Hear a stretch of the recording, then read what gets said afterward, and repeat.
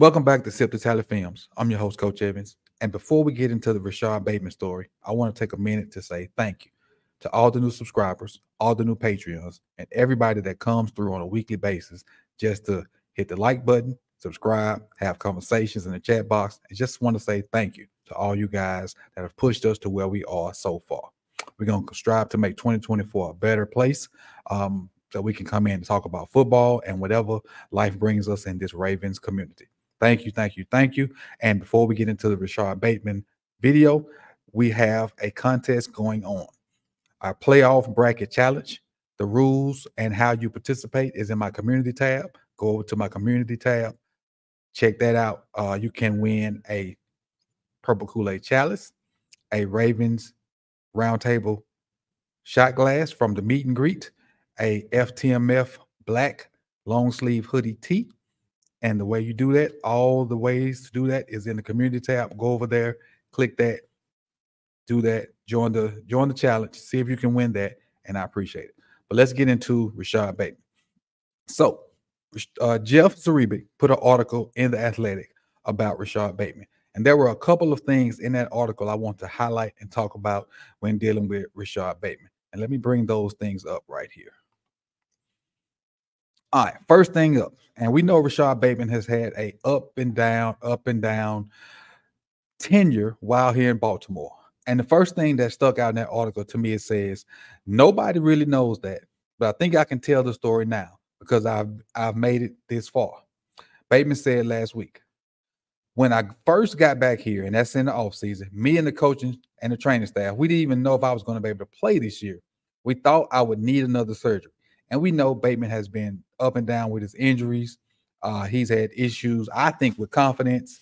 Um, and it just looks like he's not been happy. We know he's had personal issues and whatnot, but I didn't know that he was not healthy when he first got back.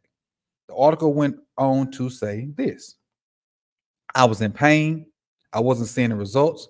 I was unable to physically run, cut, or put pressure on my foot based on my rehab, I was supposed to be able to train this off season and show up for training training camp in tip top shape. That, according to my surgery date and my rehab process. Unfortunately, my foot took a left turn this past off season. So he had surgery. And according to his surgeon, he was supposed to be ready for training camp. He was able to, he was supposed to be able to show up and do all the things necessary to be ready for training camp. And we remember when training camp first jumped off, all the receivers were there participating. He wasn't.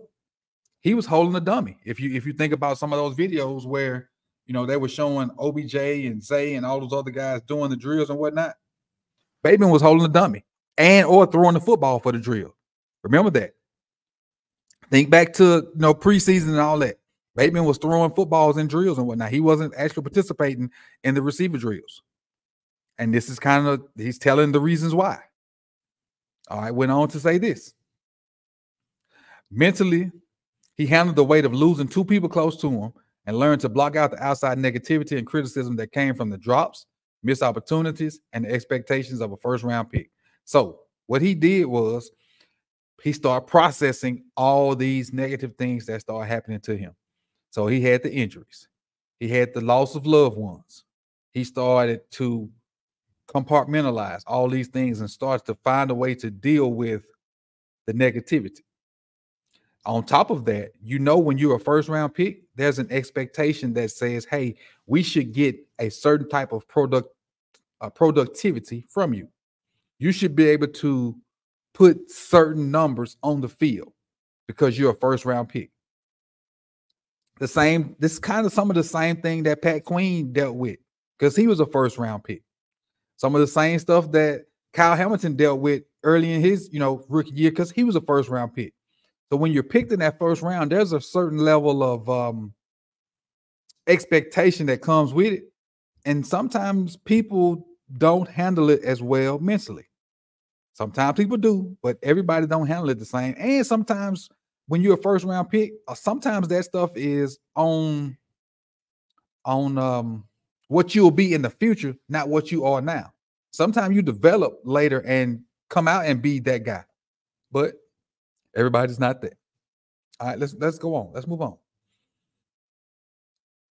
Emotionally, he challenged his frustrations, frustrations from not getting the ball that much, as much as he'd like, into embracing whatever he was asked to do to help Baltimore win.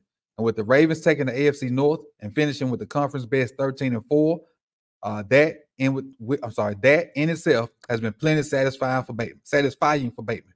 Now, with that being said, there's this saying out there that winning cures all. And you know, with this statement right here, he's being a team player, which I think he should be. But I want to play devil's advocate right here. If we were not as successful as we are now, would this still apply? Would he still be as as team oriented as he is? That's that's where I'm at. Would he still be as team oriented and still be as as happy go lucky if we were not 13 and 4, if we were 8 and 8? Would he still be this way? And I'm and I'm not knocking him. This is no shade. I'm just posing that question out there, being devil's advocate. Moving on.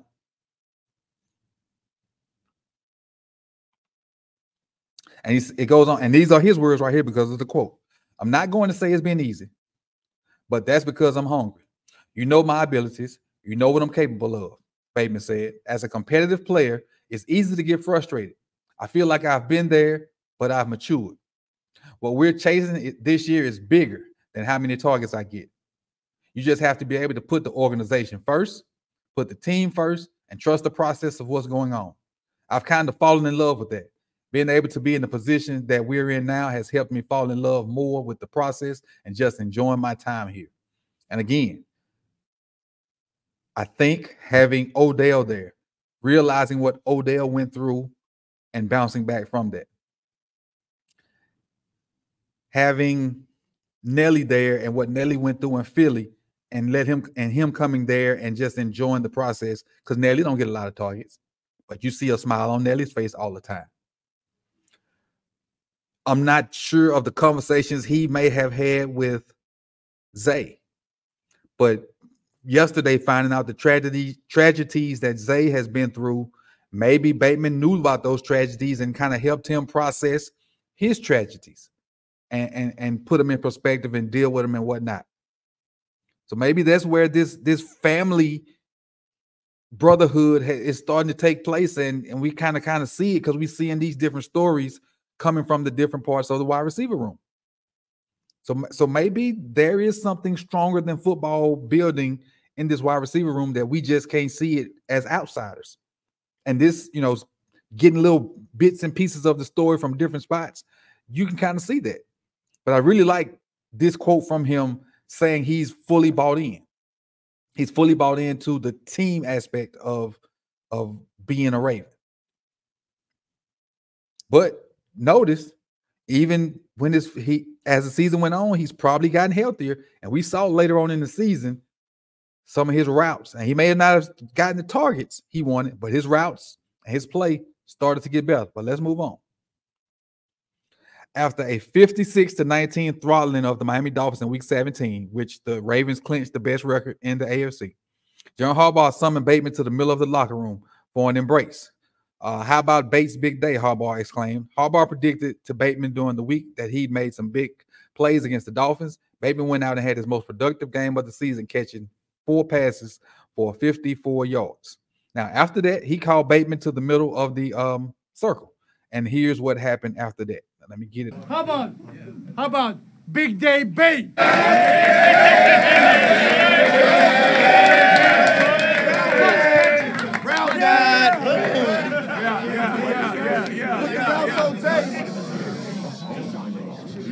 Man, uh, I appreciate y'all boys, man. I love playing with y'all. Uh, it wouldn't be a better place to uh, be right now.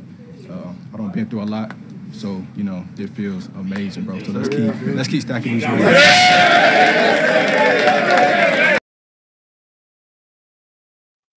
Now, in that video, he was so emotional. You could see, well, I felt like I could see him starting to tear up in that moment and just really say how much he was appreciative of being in that locker room with those guys and them going through what he's been through and whatnot.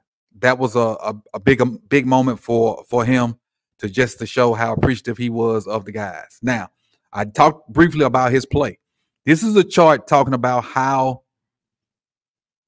different receivers get a lot of separation. Now we know Bateman does didn't get a lot of targets, but we could look at the all 22 and see how much separation he was getting from guys. His route started to be A1, top notch. Now, everybody from my mouse to the right, top notch separation. Brandon Aiyuk right here, Tyreek Hill right here, Mike Evans right here, Chris Olave, Garrett Wilson, Rashod Bateman. Rashod Bateman over here with the, the top tier wide receivers as far as getting separation. Rashod Bateman. So he's getting open. He didn't necessarily get all the targets that he might have wanted or that he needed or whatever to be considered the top receiver. But he was running routes, getting open, got dog. All right, now the article went on to say, this is Bateman quote again.